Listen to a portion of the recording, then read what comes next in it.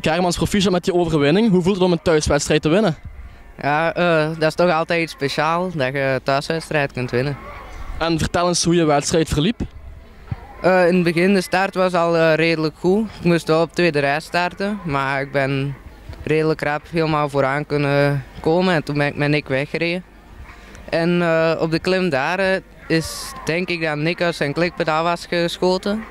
Toen heb ik een paar meter kunnen pakken en toen ben ik altijd verder, verder weg kunnen rijden.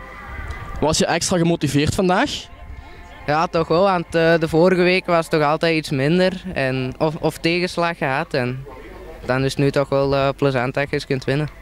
Ook pas je verjaardag gevierd. Hoe was dat verlopen?